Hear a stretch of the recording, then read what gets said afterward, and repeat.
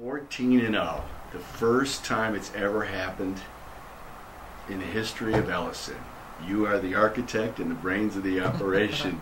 Tell us how it feels to be the first coach of the First Lady Eagles team to ever go 14 and 0 in district play.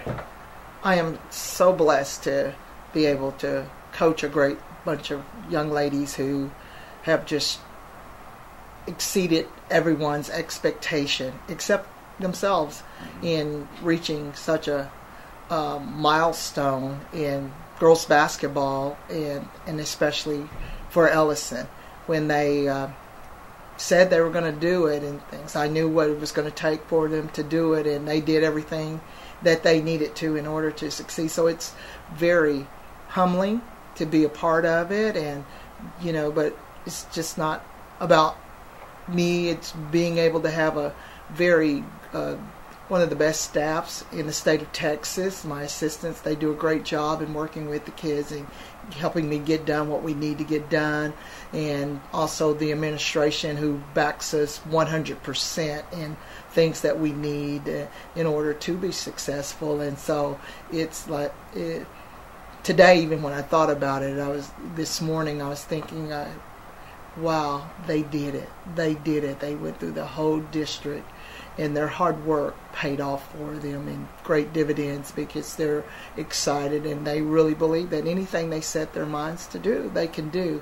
And I want it to carry over not just in basketball, but whatever they choose to do in their lives, in their grades, uh, you know, in, in the community, they can succeed. And I don't, and I think what I told them to no one can take this away from them. And this is stuff I believe when they get my age, they're going to still remember they were the first. Coach, was there a moment, a practice, a game, early in the season, middle of season, that was there a, just one moment where you knew this team was going to be special? Uh, after the first round, to be really honest with you, after the first round, it started clicking that these girls are on a mission and stuff, and um, and that they were going to be really, they can do whatever they set out to do. When I really watched in tough games that they never wavered, they didn't get overly excited, they didn't look nervous, that they were just even kill. Even when I was yelling, fussing, and you know trying to get that motivated, they were still the same. They didn't start doing anything out of their realm, out of what they felt comfortable with, what we had practice on, and things like that. We didn't have to have our heroic moments I knew then mm-hmm. they are going to do this. Coach, what if somebody would have told you over the summer, well, coach, you won't have one kid over 5'10 on your team, but you'll uh, out rebound most of the teams, and you're going to run the table, and you're going to go, you're going to win the district championship, and not only that, you're going to go 14 and 0, and you're going to make history as the first team ever in the history of Ellison High with nobody over 5'10, only two seniors, to go 14 and 0, what would you have told somebody?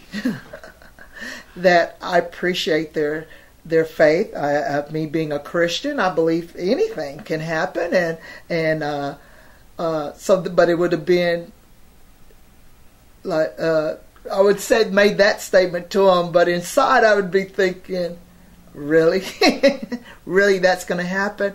I, I, had to change my coaching style a little bit. It's been six years. I've not had a, a girl over six foot. I had for uh, four. I think I've had at least a six two player, six one player, and to not have that. That was one of my biggest concerns. How are we going to get this done?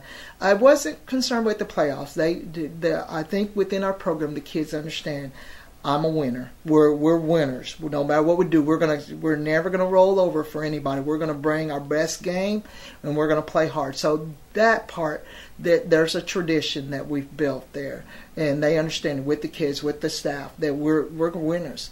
But how we were gonna get it done, and what would happen, that 14 and 0, uh, the thinking for me at the beginning, we're going to the playoff we were going to figure this out and how we're going to get to the playoffs. Start preseason, the schedule that we played at some ranked teams and uh, not winning all of those and things. And then the you know the biggest player five ten. You know how was that going to work for us when in the district we have kids that six four, and most everybody probably player that's bigger than us.